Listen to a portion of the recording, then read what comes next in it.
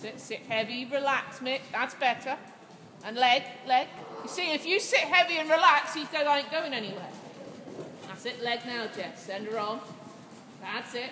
Again, once she's going nicely, you just do a little tug and then soften. Leg, leg, leg. Ooh. Yeah, well done. Oh, poor Right, Jess. bring her back up this end, Jess.